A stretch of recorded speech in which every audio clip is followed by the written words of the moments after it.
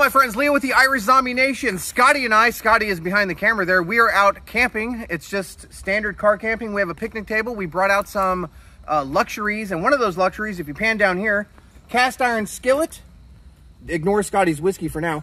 but he also has some ingredients out here, some butter, some flour, uh, all milk, all kinds of stuff. And he's going to do a gravy. But this video, this video, however, is going to be on how to cook two large porterhouse T-bone steaks in a cast iron skillet that you just saw over this campfire back here. That wasn't smoke coming out of my butt. If you couldn't see it, that's actually a campfire.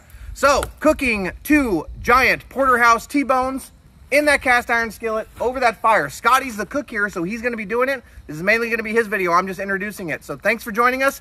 Let's eat. Hi, zombie nation. This is Scotty, AKA Coals. Because we got a hot bed of coals going here. Leo started it did a great job. We're slowly building up coals to get us the proper amount of heat, nice balance, everything. So when it comes time to cook those steaks, I can't wait. Okay, we got some hot bed of coals here. Yes, we do. And we're gonna put the pan on, get her heated up, throw the steaks on, and we'll be eating soon.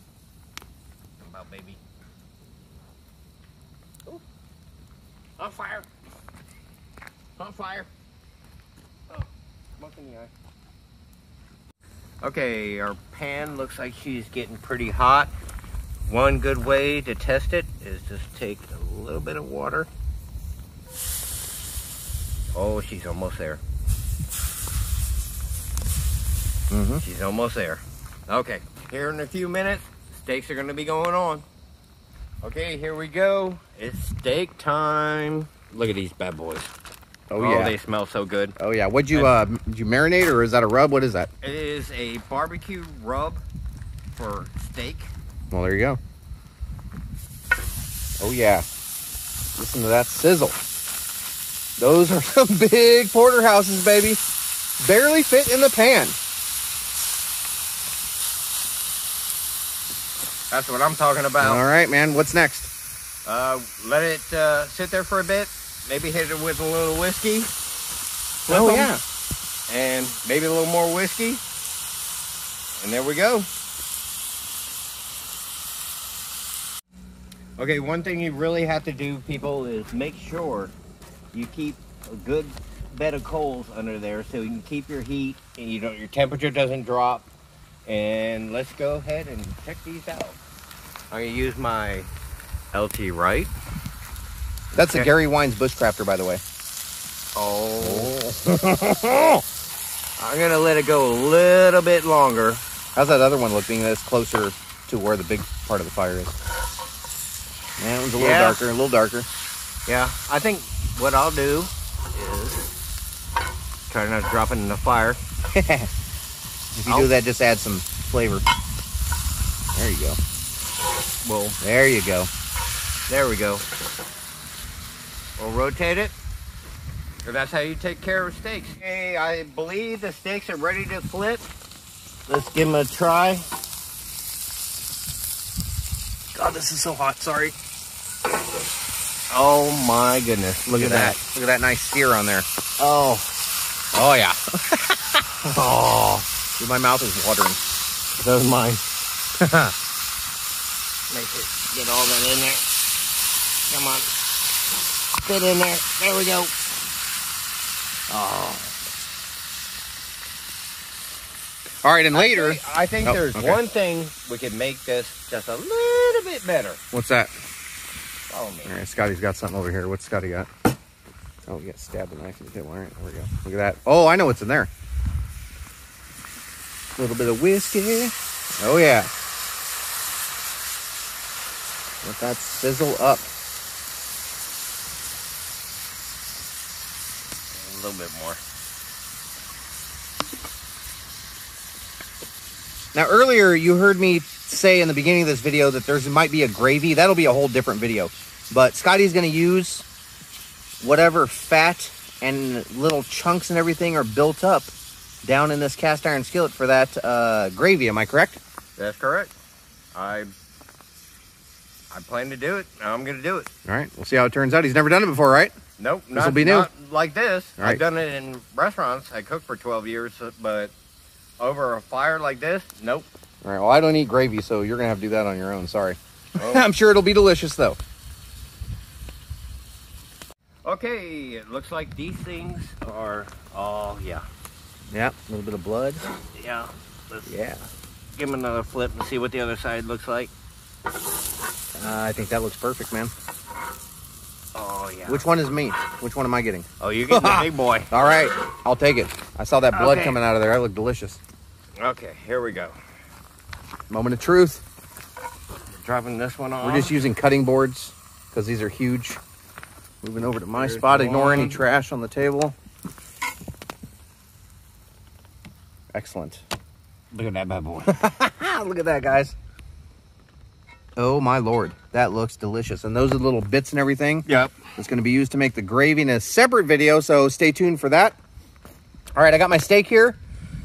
Got my whiskey. I've got my iced tea. I've got some. What kind of beans are these? Bar- bourbon barbecue baked beans? Yes. Bourbon barbecued baked beans. My water. What? By Bush. By Bush. Baked All right, beans. some Bush baked beans. Fire kit that we use to start the fire. Blah blah blah. My my uh, cook kit, all that kind of stuff. But let's look at this steak. Let's see how it looks. I'm gonna get my my dark timber 1911 elite there. Sorry guys, I'm holding the phone slash camera here. Let's get down here. Just I'm doing this one handed. Let's cut into this. I don't know if we went a little too long or not. Let's look at how this looks. Oh, I can't get the video going.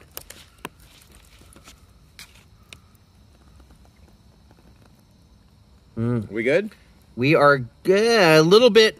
I call this medium well. So instead of medium, went a little bit longer. We started talking. We've been drinking a little bit of whiskey.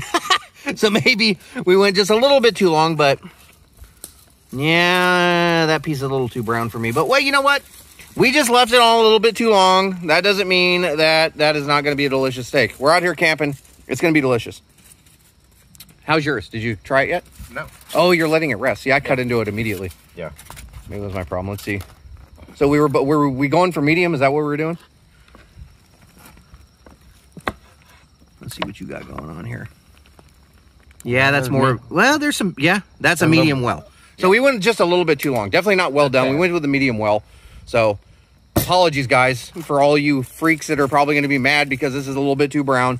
You're gonna be like, "Oh my god, no! It's got to be medium rare or rare." You're not a real man. Whatever, man. Scotty, excellent job. Thank you, brother. I'm gonna dig into this steak. Yeah. Enjoy. All right, so we got the baked beans, nice and warm. It's not the star of the show, though. Star of the show is this porterhouse right here. Let me get a bite off of here. The seasoning is wonderful. A little bit of blood. Let me see if you can maybe see it squeeze out a little bit. Did you see that or no? Yeah, all right. A little bit of blood.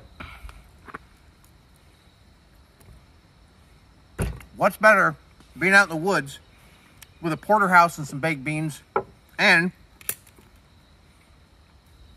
if I can swallow that, some good cheap American bourbon. Sláinte nation. I'm gonna get into this. Out of the way. Go. You're recording? Three? Are you sure I didn't hear a beep? Yeah, let's go recording. Okay. Three, two, one. Well, actually, this is per three, two, one. Actually, this is cooked exactly how I wanted it. I ate that outer piece first, and there was, you can see right in here, up against the bone, nice and pink. A little bit of blood when you squeeze on it. And then right here, this piece, you can see, that's exactly how I wanted it, a nice medium. You can see that blood. You see it? Is it showing up on camera? Yeah, a little. You see that blood squeezing out of there? Oh, yeah. All right. Scotty, my friend, I'm still going to do an outro if I can get this piece out here. I'm still going to do an outro for this video, but I had to bring it back just to tell you that this is one of the most delicious steaks I have had in a long time. So thanks, brother. You're welcome.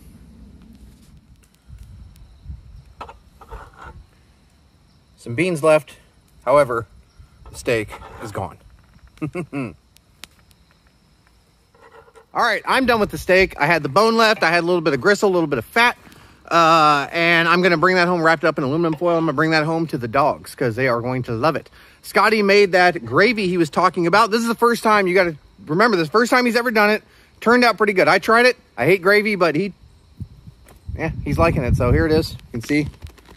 But there's a whole nother video on that. So we're not going to talk about the gravy. We're talking about that steak, and that steak was delicious.